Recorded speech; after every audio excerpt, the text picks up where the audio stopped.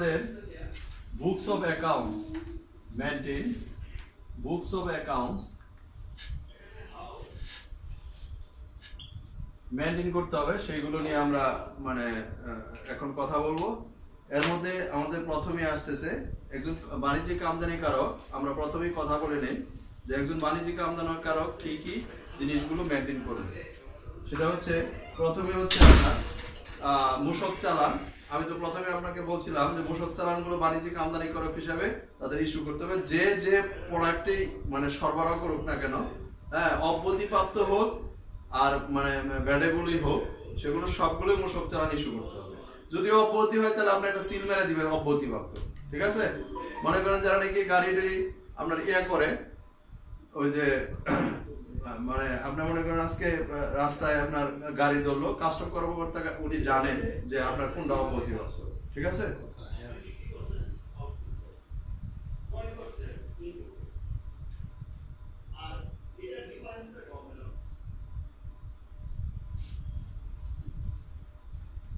তাহলে এখানে আমাদের প্রথমে মুশকিল লাভেন চালান আপনাকে মেনটেন করতে হবে।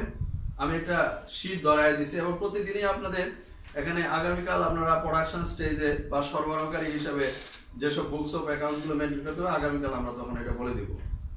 এখানে মানে আপনাদের চালান মুশকিল লাভেন চালান দিতে হবে। ক্রয় পুস্তক আপনাকে মেনটেন করতে হবে মুশক ষোলো যেটা, আমি তো বলছি সেটা আপনার মেনটেন করতে হবে। বিক্রয় পুস্তক মুশক সত্র মেনটেন করতে হবে। চলতি হিসাব, আপনার যে রিভাইজ সিস্টেম যে আমি দেখাইছিলাম, যে এখানে আঠারো টাকা পার বেসিনে সে ব্যাট দিবে। তখন এটা আপনার মানে চলতি হিসাব পুস্তক করুন চলতি হিসাব কি চলতি হিসাবটা হচ্ছে যে আমাদের মানে আমরা ক্রয় এবং বিক্রয়ের সমন্বয় যেটা আর কি ওই যে আমরা একটা ফর্মুলা দেখাছিলাম না? হ্যাঁ অ্যাডজাস্টমেন্টের ফর্মুলা সেটাই সমন্বয় ওইখানে হয় এবং এটা আসতেছে আমরা। আমরা আসতেছি আমরা আলোচনায় আসবে এটা। দাখিল পত্র দাখিল পত্র হচ্ছে ক্রয় বিক্রয় সমন্বয় করে যে ইয়াটা সামারিটা সেটা প্রতি মাসে ব্যাড অফিসে আমরা পনেরো তারিখ মধ্যে সাবমিট করে ওদের রিসিভ করে আপনার ইয়াতে ফাইলে সংরক্ষণ করতে হবে। Bill of entry bill of entry তো আপনাদেরকে দেখাইলামই। এই বিল অফ এন্ট্রিটা আপনাদের, আমরা সংরক্ষণ করতে হবে। তারপর হচ্ছে ইনভ ইয়া ঋণপত্র লেটার অফ ক্রেডিট যেটা, আমরা যারা এলসি করেন, সংখ্যা আমরা এলসি বললে বেশি চিনি, সেই এলসিটা আপনার লাগবে। ইনভয়েস লাগবে কমার্শিয়াল ইনভয়েস তো আমি দেখাইলাম আপনাকে, কেন লাগবে? প্যাকিং লিস্ট পরিবহন চালান। যে পরিবহনে আসছে, সেটারও কিন্তু চালান আছে। তারপর হচ্ছে বিএল যদি আমাদের প্লেনে আসে মালটা অনেক সময় কারণবশত আমাদের প্লেনেও আসতে পারে। বিএল ওইখানে যে বিএল সেটা রাখবেন। বিএল হচ্ছে bill of entry bill of entry তারপর হচ্ছে যে এখানে air way bill truck receive তারপরে অ্যাসেসমেন্ট নোটিশ তারপর হচ্ছে নয় নাম্বার হচ্ছে মূল্য ঘোষণা। আপনারা যে এই জিনিসগুলোর জন্য ভ্যালু ডিক্লারেশন দিবেন যদি আপনারা মনে করেন এটা কমার্শিয়াল ইম্পোর্টারের ইয়াতে থাকে সংজ্ঞায় থাকে তাহলে মূসক একের মানে খ দিবেন।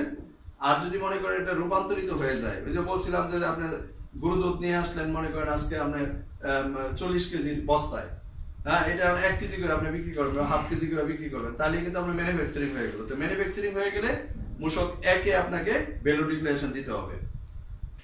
তারপরে হিসাব, পুস্তক ও নথিপত্র সংরক্ষণের মেয়াদ। আপনি কতদিন মেনটেনটা করবেন? আপনার এটা জানা অবশ্যই দরকার আছে। একজন ব্যাডের লোক হিসাবে আপনাকে জানতে হবে যে আপনারা মূসক সংক্রান্ত দলিলে ন্যূনতম ছয় বছর আপনাকে মেনটেন করতে হবে। কমপক্ষে ছয় বছর। আর যদি কোনো মামলা থাকে, মামলা নিষ্পত্তি না হওয়া পর্যন্ত আপনাকে রাখতে হবে। ঠিক আছে? মামলা নিষ্পত্তি না হওয়া পর্যন্ত আপনাকে সংরক্ষণ করতে হবে। কারণ যদি মামলা হয়ে থাকে, তাহলে আপনি যদি এটা আপনি যদি মানে ডেস্ট্রয় করে ফেলান, তাহলে আবার এই রেকর্ডগুলো পাবেন কোথায়? তাহলে এগুলো সব কিছু আপনার মামলা নিষ্পত্তি পর্যন্ত থাকতে হবে। এখন ব্যাপারটা হলো যে হিসাব পুস্তক নথিপত্র সংরক্ষণে ব্যর্থতার শাস্তি। আপনি যদি এটা না করেন, আইন যদি না মানেন হ্যাঁ তাহলে আপনার কি ধরনের শাস্তি হবে সেটা এখানে শাস্তি আপনার জন্য আছে। সেটা হচ্ছে, কোন নিবন্ধিত প্রতিষ্ঠান আইনানুগভাবে সংরক্ষণ করা বাধ্যতামূলক। মানে তার এই রেজিস্টারগুলো, উপরোক্ত যে রেজিস্টারগুলো আমি বললাম, সবগুলো তার বাধ্যতামূলক। এমনকি যদি সংরক্ষণ না করে থাকে, সেই ক্ষেত্রে মূসক কর্তৃপক্ষ আইনের ধারা সাঁত্রিশ মোতাবেক সাঁত্রিশ মোতাবেক তার বিরুদ্ধে অর্থদণ্ড আরোপ, আরোপের মতো শাস্তিমূলক ব্যবস্থা গ্রহণ সহ সংশ্লিষ্ট পণ্য ও সেবা আটকের প্রযোজ্য ক্ষেত্রে বাজেয়াপ্তের হ্যাঁ কার্যক্রম গ্রহণ করতে পারে। ঠিক আছে? আপনার প্রোডাক্ট বাজেয়াপ্ত করে দিতে পারে। আর হচ্ছে আটক করতে পারে। আপনি যদি ওই কাজগুলো না করেন, ঠিক আছে? হিসাব পুস্তক ও দলিলাদি আইন বিধান অনুযায়ী সংরক্ষণ না করার ক্ষেত্রে নিম্নরূপ পরিমাণ অর্থদণ্ড বিধান রয়েছে। যদি রাজস্ব ফাঁকি না হয়, তবে ন্যূনতম সর্বনিম্ন বিশ হাজার টাকা, সর্বোচ্চ হচ্ছে পঞ্চাশ হাজার টাকা। যদি রাজস্ব ফাঁকি না হয়। আর যদি রাজস্ব ফাঁকি হয় রাজস্ব যেটা দিবেন, এটার অর্ধেক অথবা সমপরিমাণ। রাজস্ব ফাঁকিটা তো আমি বলছি আপনাকে। আমি একটা উদাহরণ দিয়ে বলছিলাম যে এখানে এখানে আসছিল কত? উনত্রিশশো টাকার ব্যাট কত আসছিল? ফিফটিন পার্সেন্ট চারশো পঁয়ত্রিশ টাকা, না? জি। চারশো পঁয়ত্রিশ টাকা আসছিল। এখন ঘটনা হচ্ছে তো এখানে আপনি তো মেনটেন করেন নাই। চারশো পঁয়ত্রিশ টাকা তো আপনি দিবেন। এর অর্ধেক হচ্ছে জরিমানা অথবা সম পরিমাণ। সম পরিমাণ এটা দিবেন কত? আটশোশো সত্তর টাকা। হ্যাঁ তাহলে টোটাল হবে আটশোশো সত্তর ব্যাপারটা বুঝাইতে পারছি? ফাঁকি তো আপনি যেহেতু করেন নাই, ফাঁকি কোনটা আর কোনটা? আপনি যদি রেজিস্টার মেনটেন করতে তাহলে না বুঝলেন যেটা কোনটা ফাঁকি হচ্ছে, কোনটা ইয়া হচ্ছে। তার মানে ওই যে চারশো পঁয়ত্রিশ টাকা যদি আপনি বিক্রি করেন তাহলে ওই যে ওইখান থেকে রিবেট নিয়ে নিতে পারতেন বুকস অফ অ্যাকাউন্টগুলো মেনটেন করতেন সবকিছু থাকতো আপনার সব ক্লিন থাকতো। এখন ব্যাট চর্চা করলে সবকিছুই চর্চা অটো হয়ে গেল। হ্যাঁ, ওটু হয়ে গেল। Auto হয়ে গেল। তাহলে এখন ঘটনা হচ্ছে আপনি যদি না দেন তাহলে এটা কর্মকর্তার উপর নির্ভর করব। এটার অর্ধেক আপনাকে জরিমানা করতে পারে অথবা এর সমপরিমাণ। ঠিক আছে? তাহলে আমাদের এই যে হিসাব পুস্তকগুলো, এই হিসাব পুস্তকগুলো অবশ্যই মেনটেন করা উচিত এবং তাদের এটা জানা উচিত। হ্যাঁ প্রত্যেকটা কমার্শিয়াল ইম্পোর্টারই তাদের জানা উচিত। ঠিক আছে? তাহলে আমরা এখন ভ্যালু ডিক্লারেশন নিয়ে কথা বলব। মূসক একের খ। হ্যাঁ ভ্যালু ডিক্লারেশন এক নম্বর আমাদের আসতেছে মূল্য ঘোষণা।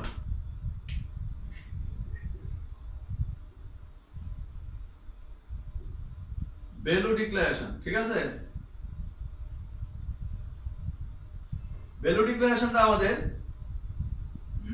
আমরা কমার্শিয়াল ইম্পোর্টার যারা আর ট্রেডার যারা ট্রেডার মানে যারা ব্যবসায়ী ব্যবসায়ী ব্যাট দেয়, তারা আমরা ইয়া দিতে পারি।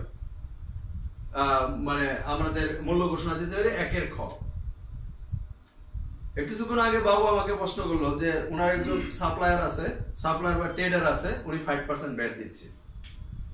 ফাইভ পার্সেন্ট ব্যাট দিচ্ছে, এখন আপনি যদি স্ট্যান্ডার্ড ব্যাট সিস্টেমে চলে আসেন, তাহলে ফাইভ পার্সেন্ট আর থাকবে না। দুই থেকে মানে দুই থেকে আড়াই পার্সেন্ট ব্যাট আপনি দিলেই রিবেট সিস্টেমে আপনার ইয়া হয়ে যাবে। কারণ আপনার এখানে কিছু কতগুলো অপশন আছে। অপশনগুলো আপনি রিবেট নিয়ে নেবেন। রিবেট নিলে তখন ফাইভ পার্সেন্ট আপনার থাকতেছে না। রিপিটটা মানে?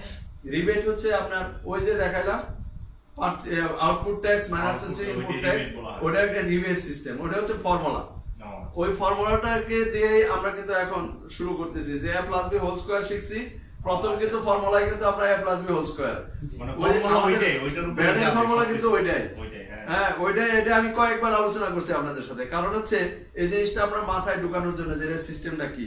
এবং সেটাই আপনি এখন করবেন এই যে এই সিস্টেমে আমি মানে এখন ক্রেডিট সিস্টেমে আমি চলে আসতেছি। আপনি একটা ভ্যালু ডিক্লারেশন দাঁড় করাইলেন। তো ভ্যালু ডিক্লারেশনটা এখানে আমাদের দেওয়া আছে। দুইটা ভ্যালু ডিক্লারেশন এখানে আছে। প্রথমটা নিয়ে আমরা কথা বলব। এখানে দেখেন প্রথমটা হচ্ছে এটা চোদ্দ নাম্বার পেজ এই যে এখানে দেখেন, চোদ্দ নাম্বার পেজ এরকম একটা পেজ আছে। এটা হচ্ছে আপনার বারোর খ।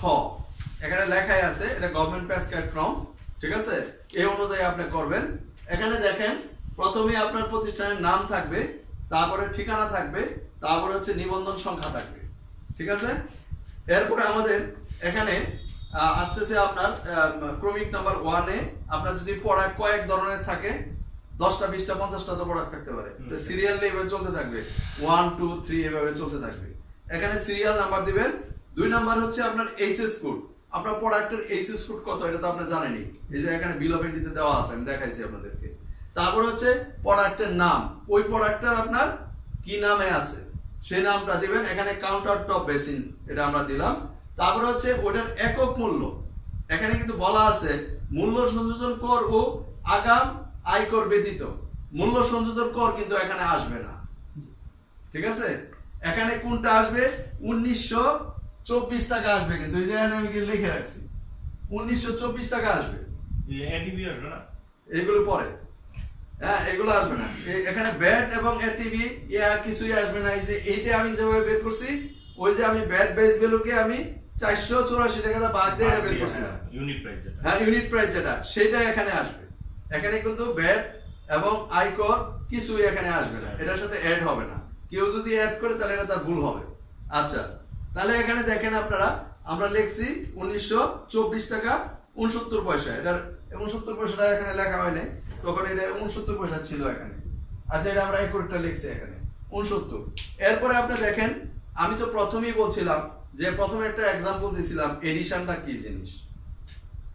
প্রথম এক্সাম্পলের যে ইয়া ধরে যদি আমরা আসি ওই যে একটা ফ্যান পারচেজ করছিলাম এক হাজার টাকায় বিক্রি করছি আপনার কত? মানে এখানে এক হাজার টাকার ব্যাট ছিল আমরা ব্যাটের চালান পাইছিলাম দেড়শো টাকা। আর এটা বিক্রি করছি নিয়ে আমি মিরপুরে কত? বারোশো টাকা বিক্রি করছি এখানে ব্যাট ছিল একশো আশি টাকা। ওরা বিয়োগ করে তিরিশ টাকা দেখাইছিলাম না?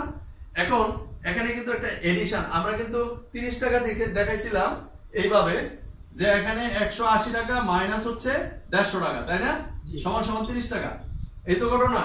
কিন্তু এটা এডিশনের উপরে তিরিশ টাকাই হবে। কত টাকা এডিশন দেখেন তো আমি আপনাকে বলি। এখানে ছিল বারোশো টাকা আপনি বিক্রি করছেন। কিনছিলেন কত দিয়ে? এক হাজার টাকা দিয়ে। তাহলে এখানে এক হাজার টাকা। তাহলে এখানে আপনার দুইশো টাকা হচ্ছে আপনার এডিশন। অতিরিক্ত। এডিশন মানে হচ্ছে সংযোজন করছে। কারণ কি কিসের জন্য সংযোজন করছে? ওই লোকের মানে বাড়ি ইয়া আছে দোকান ভাড়া আছে কর্মচারী বেতন আছে ইলেকট্রিক বিল আছে ফোন আছে। তারপরে ফেসবুক চালায় তো ইন্টারনেট আছে। হ্যাঁ তারপরে তার প্রফিট আছে হ্যাঁ এন্টারটেনমেন্ট আছে আমি গেলে চা খাওয়াই হ্যাঁ এগুলো সব কিছু মিলাই তার এই দুশো টাকা খরচ আছে তার প্রফিট সহ। এই দুশো টাকার ফিফটিন পার্সেন্ট কত? তিরিশ টাকা। বুঝতে পারছি? তাহলে এখানেও সেই ক্রেডিট মেকানিজমে সে 30 টাকায় দিচ্ছে এডিশনের উপরেও 30 টাকায় দিচ্ছে। 30 টাকা দিচ্ছি। ঠিক আছে? আচ্ছা তো এডিশনের উপরে আমাদের যেহেতু এডিশন জিনিসটা তো আমি ক্লিয়ার করতে পারলাম। এখন আমাদের এই মূল্য ঘোষণায় আমাদের একটা এডিশন আছে। এখানে দেখেন লেখা আছে এখানে মূল্য সংযোজনের পরিমাণ। আপনি কতটুকু সংযোজন হবে? আপনার দোকান ভাড়া কত? কর্মচারীর বেতন কত? তারপরে হচ্ছে মনে করেন ইলেকট্রিক বিল লাগে কত? যাবতীয় খরচ। আপনার এখানে কোনো উইন্ডো ড্রেসিং করার দরকার নেই। যা কিছু আছে সব খরচ মিলাই আপনার এখানে জিনিসটা আমাদের দাঁড় করানো হয়েছে। তারপর টেলিফোন এন্ড মোবাইল হ্যাঁ ইউনিট ওয়াইজ কিন্তু ভাগ করা হয়েছে। এটা কীভাবে করা হয়েছে? মনে করেন সে মাসে এক হাজার পিস বেসিন বিক্রি করে। এক হাজার পিস বেসিন রেতে আপনার যে কস্টটা আছে সেই কস্টটা বাকি। একটা ইউনিটের উপরই একটা ইউনিট হ্যাঁ ইউনিট ইউনিটের উপর হিসাব করা হয়েছে রাইট এবং সেই জিনিসটা আপনি আপনি যখন প্যাকেজিং এ এটা করবেন মূল্য ঘোষণা করবেন এক এক কতে তখন আপনি এগুলো সব আসবে। উইথ আপনার electric bill gas bill telephone bill এগুলো আপনি রিবেট পাবেন। বিধি উনিশ অনুযায়ী। আমি ওটা আসতেছি আগামী ক্লাসে আলোচনা হবে এবং সেটা নিয়ে আপনার যদি কোনো বিল অফ এন্ট্রি থাকে আপনি নিয়ে আসতে পারেন বা আপনার যে কোশ্চেন যদি থাকে আপনি কোশ্চেন নিয়ে আসেন আমরা উত্তর দেব। তাহলে এখানে দেখেন telephone bill repair and maintenance repair and maintenance বলতে কি বোঝাচ্ছে? দেখা যাচ্ছে যে আমার এই- এই- কম্পিউটারটা নষ্ট হয়ে গেল। নষ্ট হয়ে গেলে এটা রিপেয়ার করতে হবে না। এটা তো ঠিকঠাক করতে হবে না এটা ফেলে দিব। কিনতে হলে আবার সাঁত্রিশ হাজার টাকা লাগবে মেনটেন করতে হবে। ঠিক আছে? বাবু তো বলছে তিন বছর পর্যন্ত আমি রিবেট নিতে পারব এরপরে তো পারব না। কম্পিউটার কিনলে কিন্তু আমরা রিবেট পান জানেন নাকি ইনকাম ট্যাক্সে আপনি মনে করেন পরপর তিনবার আপনি রিবেট পাবেন। মনে করেন একটা ল্যাপটপ কিনছেন একান্ন হাজার টাকা ফিফটিন পার্সেন্ট আপনি রিবেট পাবেন। ঠিক আছে? এটা ইনকাম ট্যাক্সের ব্যাপার যদিও যাই হোক। তা এখন মানে কি আমাকে দিবে? আমি আমার যা ট্যাক্স আসবে তাতে বার্তা দিব তাতে আমি দেবো ঠিক আছে? এত সোজা জিনিস না বুঝলে তো হবে না। আচ্ছা তারপরে হচ্ছে যে স্টাফ ফুডিং স্টাফ ফুডিং হচ্ছে যে আপনার বিভিন্ন কোম্পানিতে বিভিন্ন কর্মচারীদেরকে কিন্তু খাওয়ানো হয়। হয়। আমরা ওদেরকে এন্টারটেনমেন্ট করি বা দুপুরে খাওয়ার ব্যবস্থা করি।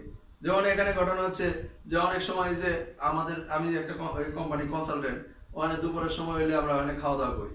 ঠিক আছে? যদি যায় আর কি ওই কোম্পানিতে এই হচ্ছে কোম্পানিটা মানে খরচটা বহন করে। তো এইটা তো একটা খরচ তাই না? এই খরচটা কিন্তু আসবে। এরপরে আমাদের আসতেছে ডেপ্রিসিয়েশন এখন ডেপ্রিসিয়েশন নিয়ে আমি একটু কথা বলে দিই। ডেপ্রিসিয়েশন এখন আপনি যদি মানে একজন ভালো অ্যাকাউন্টেন্ট হইতে চান, সে তাহলে আপনার কিন্তু ডেপ্রিসিয়েশনটা আপনার কিন্তু ক্যালকুলেশন করতে হবে। কারণ আপনার মালিককে ডেপ্রিসিয়েশন ছাড়া প্রফিট দেখাই দিলে নেট প্রফিট আপনার এত টাকা হলো মালিক খুব খুশি হয়ে যাব। কিন্তু যখন নাকি আপনার আরেকটা ল্যাপটপ কিনতে যাব তখন বলব যে আমার টাকা কই? টাকা তো নাই। টাকা তুমি খায় লাইছো। প্রশ্নটা হচ্ছে দেখেন আপনি আপনি যদি actual income profit and loss আপনি করতে চান আপনার ডেপ্রিসিয়েশনটা স্ট্যান্ডার্ড মেনটেন করে স্ট্যান্ডার্ড মেনটেন করে আপনার কাজ করতে হবে। আজকে মনে করেন আমার একটা ল্যাপটপ আছে এটা আমি বাহান্ন হাজার টাকা দিয়ে কিনছি। এই ল্যাপটপটা তিন বছরের বেশি কিন্তু যাবে না। এটা আমরা আমার এস্টিমেটেড লাইফ থ্রি ইয়ার্স বা তার গ্যারান্টি দেওয়া আছে মনে করেন থ্রি ইয়ার্স তো বান্ন হাজার টাকার ল্যাপটপটা আমার প্রতি মাসে কত পড়ে? মানে তিন বছর ছত্রিশ মাস তাহলে বান্ন হাজার ইন্টু ডিভাইডেড বাই হচ্ছে ছত্রিশ মাস। প্রতি মাসে আমার পড়তেছে আপনার এক হাজার চারশো চুয়াল্লিশ টাকা। তো এই ডেপ্রিসিয়েশন চার্জটাও কিন্তু আমার এখানে ল্যাপটপের প্রোডাক্টের উপরে চলে আসবে। আর নাইতে আপনি অ্যাকচুয়াল ফিগারটা পাবেন না। তাহলে আপনি স্ট্রেট লাইন মেথডে করেন ডবল ডিক্টেরিং ব্যালেন্স মেথডে করেন অথবা প্রোডাকশন ইউনিট মেথডে করেন। আপনি যে মেথডে করেন সেটা আপনার বিষয়। কিন্তু আমরা সাধারণত স্ট্রেট লাইন মেথডে করি। আমরা লয়াররা কারণ হচ্ছে কি একটু ইজি তো এই জন্য মানে এটা আমরা এভাবে করে নিই স্ট্রেট লাইন মেথডে আচ্ছা তাহলে এখানে ঘটনা হচ্ছে ডেপ্রিসিয়েশন আর ট্রান্সপোর্টেশন আপনার একটা মাল আমরা পার্টিকে পৌঁছে দিতে এখানে খরচ আছে ট্রান্সপোর্টেশন তারপরে আপনার মিসলিনিয়াস কস্ট আছে বিভিন্ন ধরনের খরচ আছে যেমন ধরেন আজকে ইয়ে আসলো মসজিদের চাঁদার লাগে আসলো বা মনে করেন সামাজিক কোনো অনুষ্ঠান আছে ওয়াজ মাহফিল আছে ওইসব চাঁদা এইসব চাঁদা তো আপনি দেন এটা তো আপনার খরচ হ্যাঁ, নাকি? অবশ্যই এটা ইউনিট ওয়াইজ আপনাকে এখানে আসবে ঠিক আছে? আর আপনি এটা এস্টিমেটেড জানেন একজন অ্যাকাউন্টেন্ট হিসেবে যে আপনার মাসে এরকম মানে চাঁদা কয় টাকা যায়? তাহলে আপনার একটা প্রোডাক্টে এটা চলে আসবে। এরপরে আসতেছে আপনার ইন্স্যুরেন্স ইন্স্যুরেন্স আপনি কত টাকা পেড করলেন? ওই যে ওইগুলা দেখাইলাম যে কিছুক্ষণ আগে। তারপরে আপনার আছে এলসি কমিশন এলসি কমিশনের জন্য আপনার কত টাকা খরচ হইল? মানে কিন্তু এলসির জন্য একটা চার্জ কাটে রাখা হয়। ব্যাংকের ইনকাম কি? ব্যাংকের ইনকাম হচ্ছে আপনার এলসি করবে তখন আপনি একটা চার্জ তারপরে হচ্ছে আপনার টাকা Online রাখছে। করলে একটা charge হ্যাঁ অনলাইনে একটা চার্জ নেবে। তারপরে মনে করেন আপনি আজকে স্টেটমেন্ট নিচ্ছেন ওটার জন্য একটা চার্জ আপনি আজকে ব্যাংকের অবশ্য আমরা এখন বেশ বেশ একটা ইয়া উঠাই না।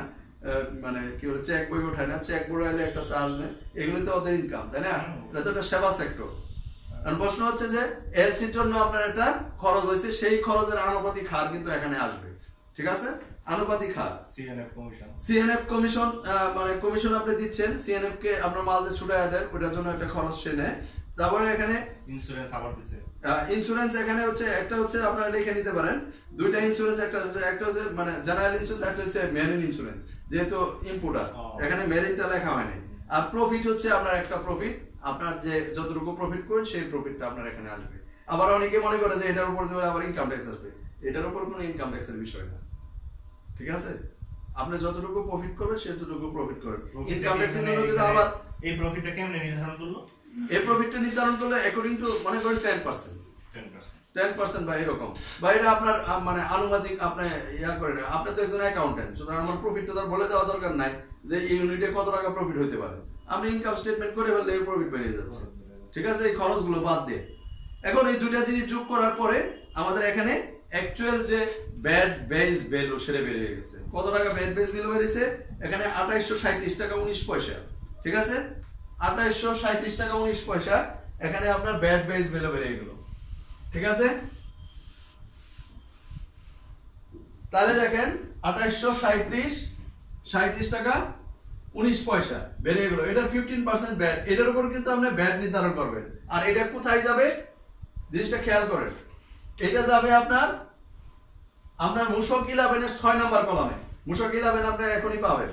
মুশক ইলেভেনের ছয় নাম্বার কলামে এটা যাবে। ঠিক আছে? ছয় নাম্বার কলামে যদি এটা যায় এটার যে ফিফটিন পার্সেন্ট সেটা যাবে সাত নাম্বার কলামে। যদি একটা ইউনিট বিক্রি করে থাকেন আর এই দুইটা সাত নাম্বার আর ছয় নাম্বার যোগ করে আট নাম্বার কলামে তার মানে হচ্ছে মোট কত টাকা বিক্রি করলেন এখন আপনারা ইয়ারা বলবেন। ওই আঠাশশো সাতাশ তো সবগুলো যোগ করে এক করছে না? হ্যাঁ সবগুলো যোগ করে ওটা এখানে এডিশন হয়েছে দেখেন এখানে এডিশন দেওয়া আছে সাত সাতচল্লিশ পার্সেন্ট নিচে দেওয়া আছে দেখেন সাতচল্লিশ পার্সেন্ট নিচে দেখেন ঠিক আছে সাতচল্লিশ পয়েন্ট সামথিং তাহলে আমাদের এটা কোথায় যাবে এখন? এটা মুশকিল আবেনে যাবে। এখন আপনারা মুশকিল আবেনে উল্টান এখানে আছে। দুইটা প্রোডাক্ট আছে তো আমরা একটা প্রোডাক্ট নিয়ে কথা বলতেছি। ঠিক আছে? মুশক ইলেভেন হচ্ছে আপনার আঠারো নাম্বার পৃষ্ঠা মুশক ইলেভেনে এখানে দেখা যাচ্ছে যে আমরা আসলে যে প্রোডাক্টগুলো আর ওই যে আরেকটা বেসিন যেটা আছে, সেটার মূল্য ঘোষণা সেম রেটও সেম সবই সেম এখন আমরা এখানে দেখেন,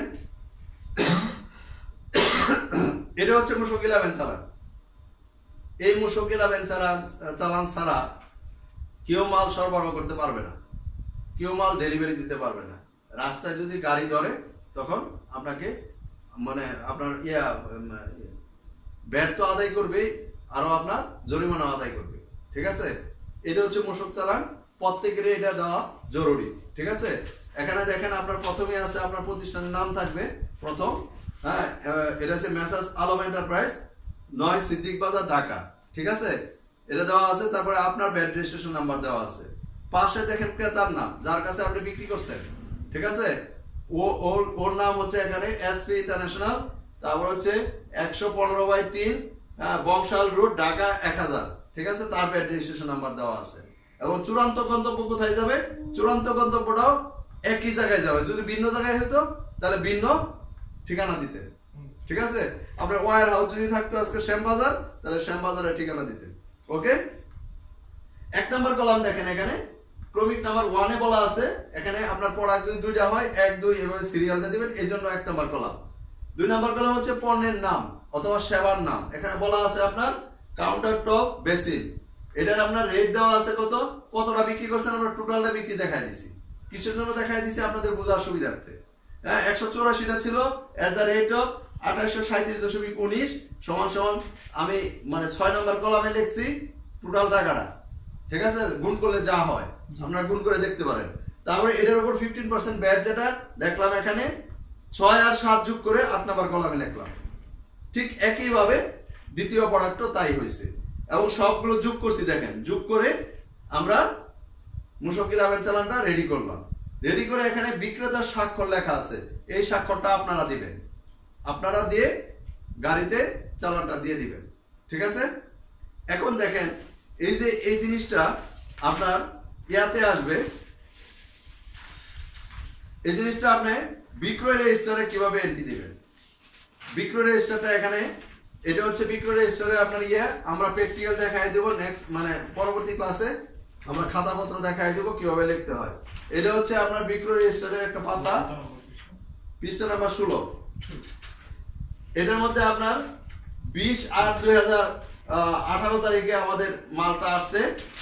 বিল অফ এন্ট্রি নাম্বার দেওয়া আছে same bill of entry number হ্যাঁ? এখন এটা চ্যানেল থেকে আসছে দুইটা প্রোডাক্ট দেখে আমরা আলাদা আলাদা করে লিখছি। ঠিক আছে? মূসক ষোলো। মূসক ষোলো। প্রথমে হচ্ছে আমার সিরিয়াল দ্বিতীয়ত হচ্ছে তারিখ। এই তারিখটা কোন তারিখ? যে তারিখে আপনার ওয়ার হাউসের মালটা ঢুকছে সেই তারিখ। হ্যাঁ? বিশ আট দুই হাজার আঠারো তারিখ। তারপরে দেখেন পাঁচ নাম্বার কলমে আমরা বিল অফ এন্ট্রি নাম্বার দিছি।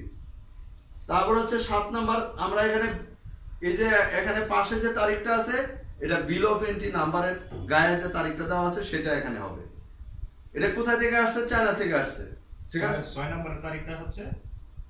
বিল অফ এন্ট্রি নাম্বারের তারিখ। হ্যাঁ? তারপরে হচ্ছে চায়না থেকে মালটা আসছে। এটার বিবরণটা কি? বিবরণটা হচ্ছে কাউন্টার টপ বেসিন হ্যাঁ পরিমাণ কয়টা? চারশো চৌরাশিটা আপনারা জানেন। এবং এটা টোটাল যে ব্যাটটা এটা কোন ব্যাট এই ব্যাটটা হচ্ছে যে বিলো ভেন্টিতে যে ব্যাটটা দেওয়া ছিল। সেটা, আর হচ্ছে এখানে চোদ্দ নম্বর কলামে বিলো ভেন্টিতে যেটা ব্যাট দেওয়া ছিল, এক লাখ উনচল্লিশ হাজার টাকা সেটা। তো এই জিনিসটা আমাদের তো এখন স্টকে চলে আসলো। হ্যাঁ স্টক মেনটেন করতেছি তো। আমাদের সমাপনী যারে মানে ক্লোজিং স্টকে চলে আসলো এটা। সেকেন্ড আইটেমটা ঠিক সিমিলারলি আমরা এন্ট্রি দিলাম। ঠিক আছে? পরবর্তী টাইমে পঁচিশ তারিখ যায় আমরা দুইটা মালই বিক্রি করে দিয়েছি। এক পার্টি নিয়ে গেছে। একই মানে একই জায়গাতে দেখেন লেখা আছে। তবে এখানে আরেকটা জিনিস আমি বলে দেই। আপনারা যখন প্র্যাকটিক্যালি ইউজ করবেন, দুইটা বেসিনের জন্য আলাদা আলাদা পেজ নিয়ে নেবেন লেজারের মতো। ঠিক আছে? কিন্তু প্রেজেন্টেশনের সুবিধার্থে আমরা এক জায়গায় রাখছি। আচ্ছা প্র্যাকটিক্যাল করার সময় খাতাপত্র নিয়ে আসবেন, আমরা দেখাই দেবো, কোনো সমস্যা নেই। এরপরে হচ্ছে, পঁচিশ তারিখে দুইটা মালে আমরা ওপেনিং হিসাবে নিয়ে আসলাম। এবং আপনি দেখেন, এখানে পনেরো নাম্বার এবং ষোলো নাম্বার দুইটা ঘরের এখানে লেখা আছে, পণ্য প্রস্তুত অবলিক উৎপাদন, ব্যবহার। যদি পণ্য আপনি প্রস্তুত করেন, যদি ম্যানুফ্যাকচারিং প্রতিষ্ঠান হয়, তাহলে এখানে এন্ট্রি দিবেন। আর যদি মনে করেন আপনার ব্যবসায়ীদের ক্ষেত্রে বিক্রয়, যে পরিমাণ আমরা টোটাল জিনিসটা বিক্রি করে দিয়েছি, বিক্রি করে দেওয়াতে এদিকে আমাদের নীল হয়ে গেছে। আমাদের আর কোনো ব্যালেন্স থাকল না, ঠিক আছে? তাহলে এটা হচ্ছে আমাদের ক্রয় রেজিস্টার প্রশ্ন হচ্ছে, প্রথম দিন হয়তো বা বুঝতে একটু সমস্যা হবে, আজকে যায় আবার জিনিসটা অ্যানালাইসিস করবেন। এই এটা আগামীকাল আবার আমাকে প্রশ্ন করবেন। যে এই জিনিসটা আমি বুঝি নাই। ঠিক আছে? তাহলে আমি মনে করব আপনি দেখছিলেন। ঠিক আছে? আঠারোতে দেওয়া আছে ওটা ক্লোজিং এন্ট্রি ক্লোজিং ইনভেন্টরি যেটা। হ্যাঁ ক্লোজিং ইনভেন্টরি যেটা। যেটা আপনি স্টোর লেজারে মেনটেন করেন। ঠিক আছে? আমি তো বলছি যে ব্যাডের হিসাব যদি ঠিক মতো মেনটেন করা হয় তাহলে আর কোনো ব্যাডের লোক ছাড়া আর অন্য কোনো অ্যাকাউন্টসের লোক হয়। তবে হ্যাঁ এখানে ব্যাডের সাথে আবার ট্যাক্সের একটা ইয়া তো সেটা হচ্ছে যে ট্যাক্সের জন্য আমাদের অ্যাকাউন্টসটা করতে হয়। তো এখন প্রশ্ন হচ্ছে যে ব্যাড যদি ঠিক মতো মেনটেন করা হয়, তাহলে ব্যাডের লোকে আপনার স্টোর লেজার মেনটেন করতে পারবে। ব্যাডের লোক আপনার অনেকগুলো লোকের সমন্বয়ে কিন্তু ব্যাডের লোক। আপনি কোনো ম্যানুফ্যাকচারিং কাজ করতে যাবেন, আমি রসের কথাই বলি। আমি এখানে আমার ডিপার্টমেন্টে দেখেন স্টোরের সাথে আমার সম্পর্ক। ব্যাডের যে লোকটা মানে আমি যে যখন ব্যাড ডিল করতাম, তারপরে এখানে যে একজন কারিগর, কারিগরের সাথে আমার সম্পর্ক ছিল। কীরকম? আমি যখন মূল্য ঘোষণা করতাম, তখন তার কাছ থেকে ইউনিট ক্যালকুলেশন নিতাম। যে এর মধ্যে কতটুকু চিনি দিছো কতটুকু লবণ দিছো কতটুকু তোমার ইয়ে পাউডার মিল্ক ইউজ করছ এগুলো কিন্তু কারিগরের কাছ থেকে জানতে হয়। তারপরে ফাইনালি জানতে হবে আবার ফ্যাক্টরি ম্যানেজারের কাছ থেকে। কারণ ও যে ঠিক দিল এটা তো আমার বুঝতে হবে। কারণ ও তো একটা র জিনিস দিছে। এমন একটা শিক্ষিত লোকের সাথে আমি একটু কথা বলি তাহলে সেই জিনিসটা আমাকে ভালো করে বুঝাই দিতে পারবে। সুতরাং এখানে কিন্তু আপনার মানে সবার সাথে আমরা একটা লিঙ্কেজ আছে। তারপরে আপনার বিক্রয়ের ক্ষেত্রে আপনার একটা সাপ্লাই চেনের ব্যাপার আছে। বিক্রয়ের ক্ষেত্রে আপনার ডিস্ট্রিবিউশন চ্যানেল সব মেমোরিতে রাখতে হবে টোটাল আপনার ইয়ে, বিক্রয় চেনের সাথে আপনার ইয়ে করতে হবে। কারণ ও এবার মার্কেটিং এর লোক এবার আবার বিক্রি করে দিল টেন পার্সেন্ট ডিসকাউন্ট দিছে। ব্যাডার আইনে তো টেন পার্সেন্ট ডিসকাউন্ট দিয়ে আপনি অ্যাপ্লিকেবল করতে যান বেস প্রোডাকশন টু সেলস পর্যন্ত যত কাজ. এভরিথিং নলেজ রাখতে হবে। এভরিথিং নলেজে রাখতে হবে। আপনার এই ডিপার্টমেন্টে ব্যাড এবং ট্যাক্স যে ডিপার্টমেন্টটা তাহলে এখানে আপনার ক্রয় রেজিস্টার আপনার হয়ে গেল। ক্রয় রেজিস্টারের মালটা আমরা এখন বিক্রয় রেজিস্টারে আমরা এন্ট্রি দিব। আর বিক্রয় রেজিস্টারে আমরা এখানে ওপেনিং আর ক্লোজিং রাখি নাই। বোঝার সুবিধা। নেক্সট ক্লাসে রাখব, তখন আবার বুঝে নিয়ে। সেটা হচ্ছে এসপি ইন্টারন্যাশনালের কাছে আপনার মালটা টোটাল মালটা বিক্রি করে দিচ্ছেন ওই যে ওইখানে যে টোটাল আমাদের ভ্যালুটা আছে ভ্যারিয়েবল ভ্যালুটা সেটা এখানে লিখছি ব্যাটটা এখানে লিখছি ঠিক আছে? এসপি ইন্টারন্যাশনাল একটা মুশকিলা চালান করছি না। আর মুশকিলা চালান দেখে কিন্তু আপনি বিক্রয় রেজিস্টার এন্ট্রি দিবেন। মুশকিলা ব্যানের চালান অবলিক হচ্ছে আপনার ইসিআর এর চালান। ইসিআর এর চালান। দুইটা দেখে আপনার বিক্রয় রেজিস্টার এন্ট্রি দিবেন। ঠিক আছে? আন্দাজে দিলে হবে না। আচ্ছা তাহলে আমাদের এটা গেল। এরপরে আমাদের আসতেছে, তাহলে এখানে আমাদের ক্রয় বিক্রয় হয়ে গেল আমাদের। ক্রয় বিক্রয় হয়ে যাওয়ার পরে আমরা এখন আসব। আপনার যে বলছিলেন, আপনার কথা অনুযায়ী সেটা হচ্ছে চলতি হিসাব। চলতি হিসাবটা খুব ইজি জিনিস।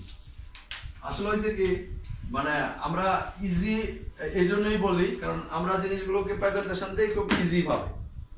সেই জন্য ইজি বলি। আসলে কিন্তু ব্যাডের খাতাপত্র কিন্তু আপনার মানে কখনো যেন ইয়া না হয়।